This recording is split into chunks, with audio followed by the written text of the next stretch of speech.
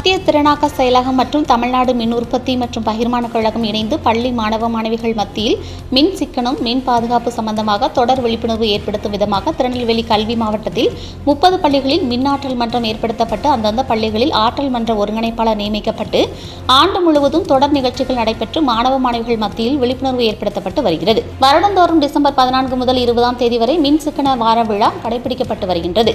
இதனை முன்னிட்டு திருநெல்வேலி மாவட்டத்தில் ஆற்றல் மன்றம் செயல்படுத்தப்பட்டு வரும் முப்பது பள்ளிகளில் பயிலும் மாணவ மாணவிகளிடையே மின் சிக்கனம் மற்றும் மின் பாதுகாப்பு குறித்து பேச்சு போட்டி கட்டுரை போட்டி ஓவியப் போட்டி நடத்தப்பட்டு ஒவ்வொரு பள்ளிகளில் இருந்தும் வெற்றியாளர்களாக ஆறு மாணவ செல்வங்கள் தேர்வு செய்யப்பட்டு மொத்தம் நூற்றி எண்பது மாணவ செல்வங்களுக்கு பரிசளிப்பு விழா பாளையங்கோட்டை பிளாரன்ஸ் வைன்சன் மாற்றுத்திறனாளிகள் மேல்நிலைப் பள்ளியில் வைத்து நடத்தப்பட்டது. இந்த நிகழ்ச்சியை தமிழ்நாடு அறிவியல் இயக்கம் திருநெல்வேலி மாவட்ட ஒருங்கிணைப்பாளர் ஐயப்பன் வரவேற்பு நிகழ்த்தினார். நிகழ்ச்சியை மேற்பார்வை பொறியாளர் திருநெல்வேலி மின் பகிர்மான வட்டம் சந்திரசேகரன் தலைமை தாங்கினார்.